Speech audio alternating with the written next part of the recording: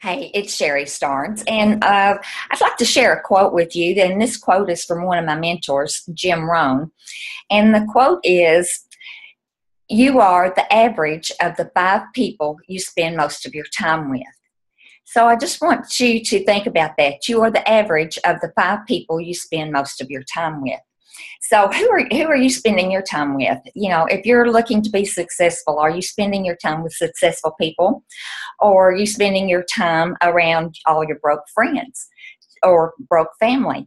It's it's important that uh, you you're following the right people and associating with the right people, and you can do that. You know, you can do that by uh, listening to audio, reading things like that. But I'll, I'll just think about this if you're spending your time around people that are broke, what are what are they going to teach you? You know, they're going to teach you how to be broke, and uh, it, it's it work. It's the same with no matter what circumstance. You know, if you're having um, marital problems, you're not going to get it. I hope you don't seek advice from someone who's been divorced five or six times.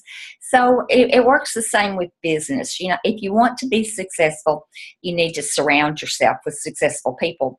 And that's what I'm, I'm uh, inviting you to do. I'm inviting you to click the link below this video or go to sherrystarnes.com and lock arms with us. See what we have to offer. Surround yourself with me, my team, our whole company, and uh, see how we can empower you.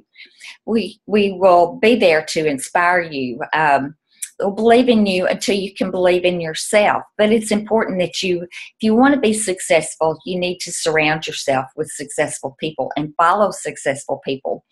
Learn, learn from people that are successful. Find someone that is having the success that you want to have and and stick close to them. So that's what I'd like to invite you to do. Find out more about the, the products we have, the opportunity, and you can just click the link below this video. But the the main point to remember is you are the average of five people that you spend most of your time with. So think about those five people. Are those the five people that are going to uh, make you money? Are they going to teach you how to make money? Just think about that.